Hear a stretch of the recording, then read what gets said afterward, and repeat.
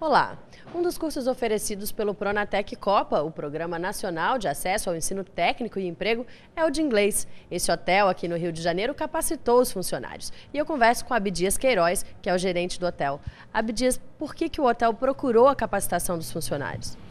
Olha, Thaís, na verdade a necessidade de qualificação de mão de obra vem do, da concorrência, né? Da, de, cada vez os hotéis procuram qualificar mais a sua mão de obra em função de, uma, de, uma, de uma, do mercado hoteleiro muito competitivo e aonde a gente, né, a gente acredita que essa qualificação vai ser um diferencial na nossa prestação de serviço. Quantos funcionários do hotel foram capacitados pelo Pronatec?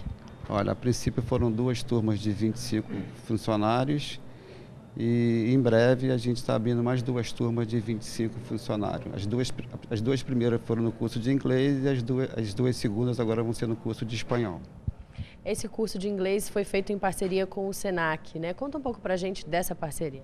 Olha, o Senac já é um parceiro nosso há muito tempo em outros cursos, né? Então, quando eles nos procuraram oferecendo essa, essa oportunidade, de antemão, em função da necessidade dessa demanda de, de nossos colaboradores falarem inglês em função da Copa do Mundo e mais para frente das Olimpíadas, a gente foi, aceitamos de imediato. Em função dessa parceria, já fechamos mais uma, que é do curso de espanhol. Daqui a um mês e pouco, os mesmos alunos vão fazer o curso de espanhol.